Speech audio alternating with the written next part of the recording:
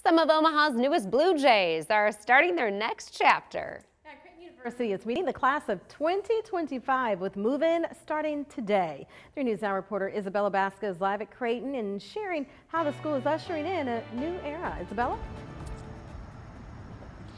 Well, good morning, Serese and Jenny. Creighton is set to welcome its second largest class with more than 1,140 students. And this year, Move-In is going to look a lot more traditional compared to last year, despite the pandemic.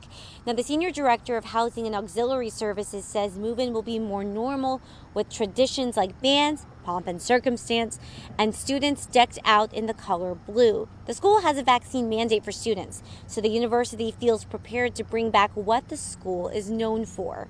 We want students to love college. We want we know uh, I love the statement that the world needs more of what Creighton can offer because we can offer something really special to the world here. And we want students to engage in that.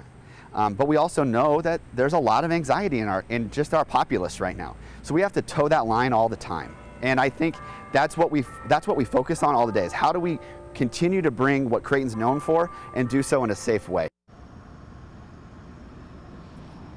Welcome Week events start over the weekend and also go into next week. Now, students will be welcomed by student volunteers as they move into four freshman halls.